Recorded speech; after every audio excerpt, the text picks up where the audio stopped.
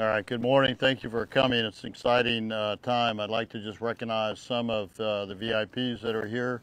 We have Mayor Alfin from the City of Palm Coast, uh, Senator Wright uh, from the Florida Senate, uh, Commissioners O'Brien and Hansen, and uh, Chiefs Brandon and Doughney. Thank you all for coming, and if I missed anybody, oh, and our county administrator and deputy county administrator, thank thank you for coming. After all, this is your building in there. You know, this week we recognize National Correctional Officers and Employees Week. In 1987, President Ronald Reagan established the first week in May as National Correctional Officers Week. During the announcement, President Reagan declared, and I quote, no group of Americans has a more difficult or less publicly visible job than the brave men and women who work in our correctional facilities. And I totally agree with that statement. The men and women that work behind these walls are true, brave, unsung, and unseen heroes serving our community. Then in 1996, Congress expanded the National Correctional Officers Week to include all correctional employees. So this week, we recognize and thank all of our detention deputies and employees who work in the jail for their hard work and dedication. During National Correctional Officers and Employees Week in 2018, we named the Flagler County Jail in memory of Sheriff Perry Hall. Today we will be unveiling a memorial to always remember the sacrifice Perry Hall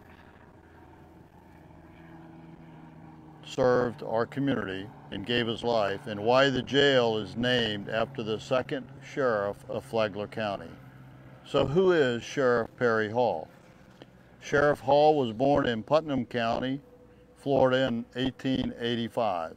He was elected as the second sheriff of Flagler County in 1904 at the age of 39 and with winning 308 votes.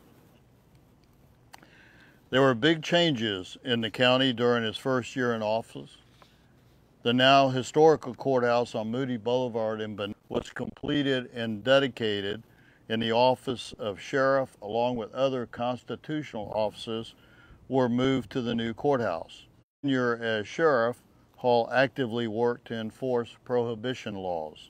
In January 1927, he captured four moonshine runners and seized 50 cases of whiskey along with three cars. My general counsel is not here today, but something tells me the forfeiture was a lot easier back then than it is today. Sheriff Hall also worked on smaller cases involving crimes such as larceny and cattle rustling. He went to Georgia to know that would be his last big case serving as Flagler County Sheriff.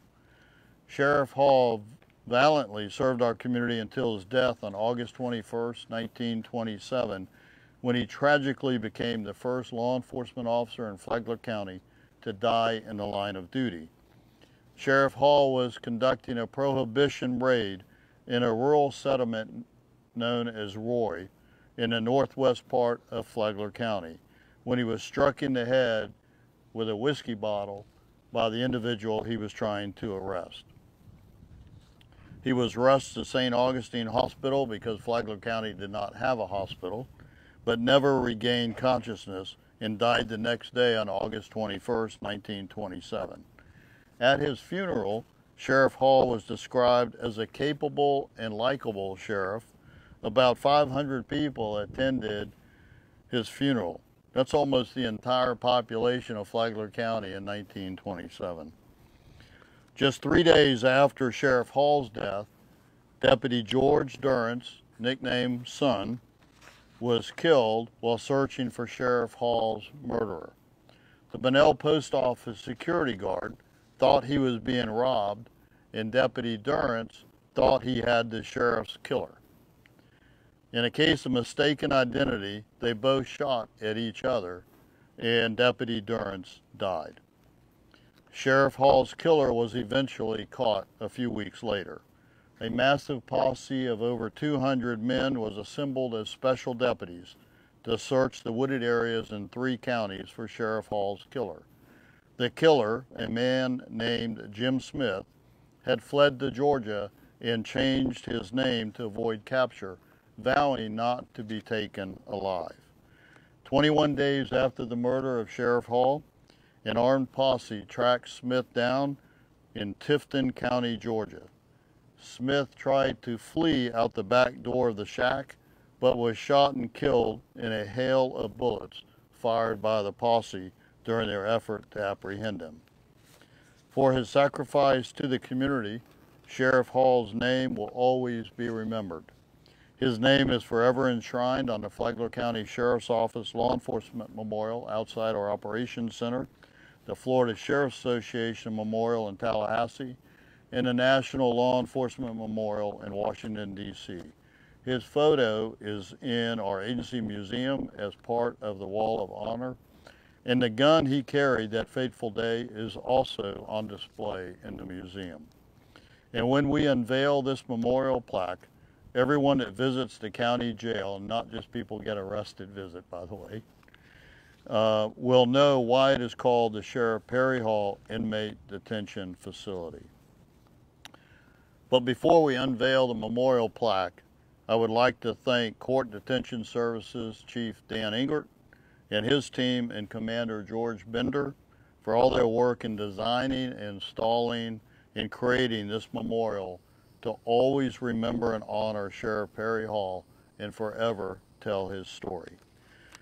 Now we had invited some relatives of Sheriff Hall to attend but one works for the county, uh, Mike Dixon, he got called away, so he's not here.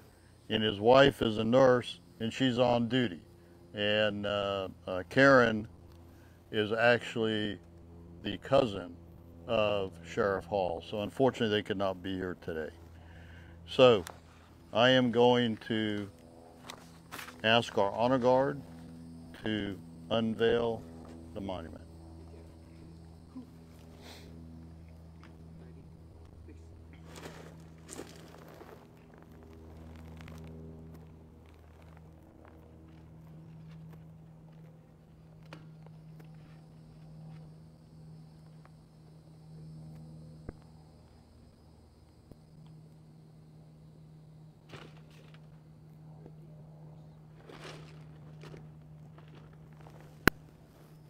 I think it's important that when you name a building over somebody that the story needs to be told.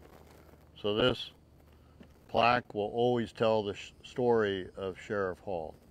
I would like to open it up to our elected officials if anyone would like to say anything before we close out the ceremony. So Commissioner Hansen or O'Brien?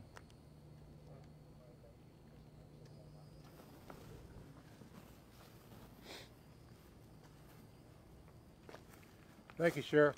But we always say in the county that our, our, our biggest job is husbanding the taxpayer dollars to make sure we spend it correctly. And it's a really honor just to be here, Sheriff, to, to uh, honor Deputy or Sheriff uh, Perry. This is great. Yeah. Thank you very much for having us, and uh, all the best. Thank you for your support. Mayor Alfin?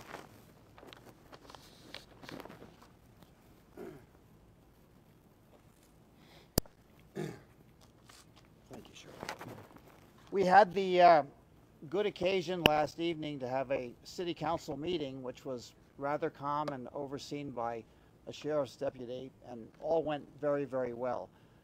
A big part of last night's ceremony had to do with honoring our Palm Coast Historical Society and also Sisco Deen from the Flagler County Historical Society. What I was thinking about on the dais while these presentations and proclamations was being made was that despite the fact that Palm Coast in particular is a relatively young city, this is the way that we build the roots of the community. I think this is a shining example of how we remember and how we honor the roots that go way back in time so that we're proud of an area that does have strong roots that will guide us into the future. So thank you again for having us here for this today. Thank you, Mayor. Senator Wright?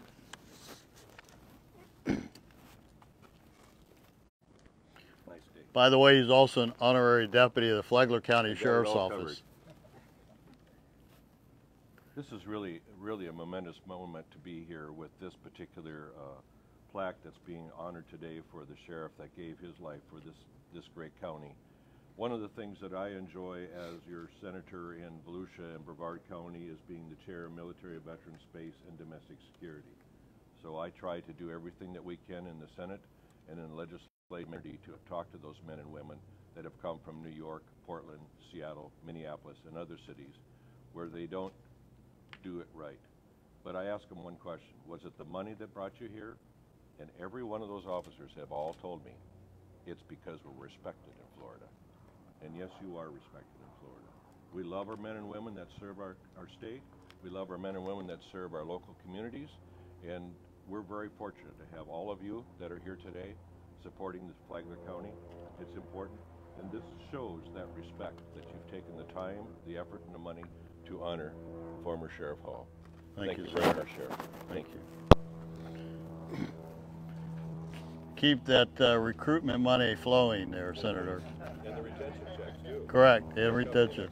Okay, perfect, perfect. Um, Chief Brandon or Chief Doughney, would you like to say anything? Jason, you represent the state attorney, would you like to say anything? Just that you guys do an awesome job. Thank you. Thank you for that. All right, well, that uh, Heidi or Jorge like to say anything? No? Okay. All right, we've run out of speakers, and it's hot out here, so thank you for coming to to this event, but more importantly, to recognize uh, Sheriff Hall. So thank you. Uh,